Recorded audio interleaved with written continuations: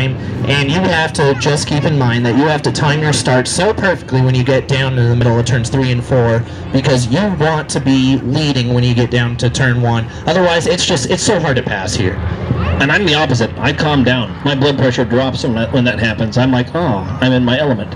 Well, folks, we're coming out of turn before, and a green flag will wave, and we've got a race. Bodley going to take the early lead. Johnny Carey moving to the inside there. 3 1.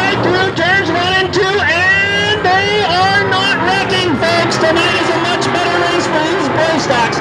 Donnie Carey's going to take the lead down the backstretch. We've got Steed taking on Steed for the second spot. Steed, I think What a, what a move by Trevor Steed, the number 7X.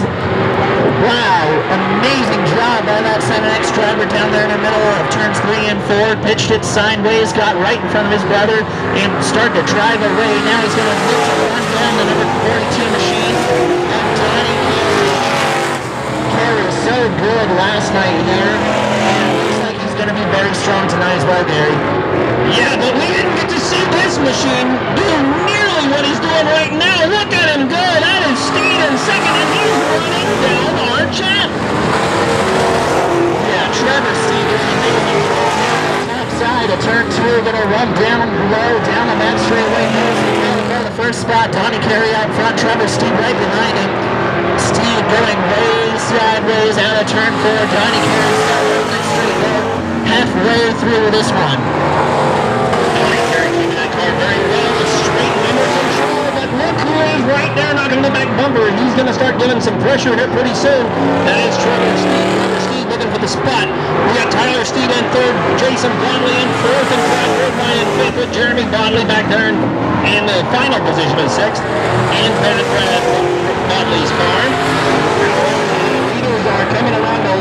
going to be interesting to see if Steed can get anywhere with the lap traffic. They might get to use that lap as a pick because he is putting the pressure on Donnie Carey. Yeah, definitely a lot of pressure going on to that 42D right now. Looking to the inside. There comes Trevor Steed machine going to fall back in line this time, looking to the inside big time, look for the contact, it happened at the top side turn 3 and 4,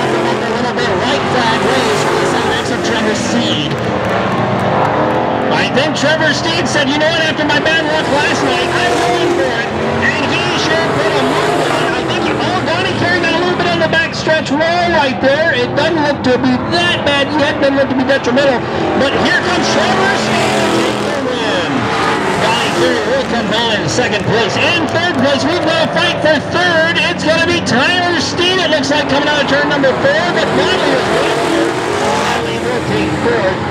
And Clyde Boardwine in fifth with Jeremy Bodley, Jason Bodley. Jeremy Bodley, one of the Bodleys. Let's see, that's Jay, that's Jason Bodley.